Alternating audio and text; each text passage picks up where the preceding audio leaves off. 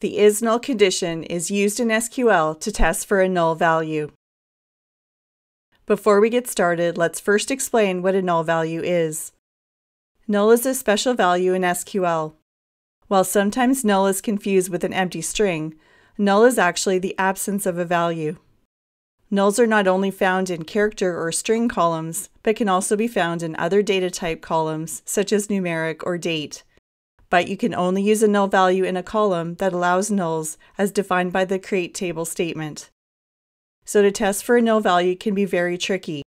You can't simply just say equals null or not equals null. Instead, you need to use a special condition called is null. The is null condition tests an expression and returns true if a null value is found, otherwise it returns false. It can be used in a select, insert, update, or delete statement. Now that you understand what a null is, let's cover an example of how to use the is null condition. Here we have a table called customers containing the following data. Notice that there is one record in the table where the favorite website column is null. Let's write a select statement that returns this record. We'll start by entering select asterisk from customers to let the database know that we want to return all columns from the customers table. The where clause is next. This is where we will enter our is null condition.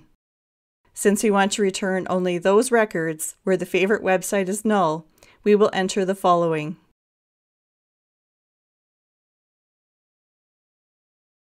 Now let's run our select statement and see what results we get.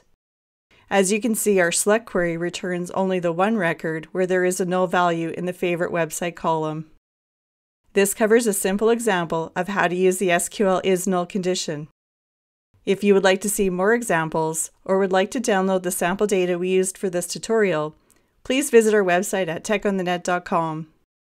You can also try the examples in our SQL editor on our website. Look for the Try It button next to each example. If you found our tutorial helpful, please leave a like on this video and don't forget to subscribe to our YouTube channel for more great SQL tutorials.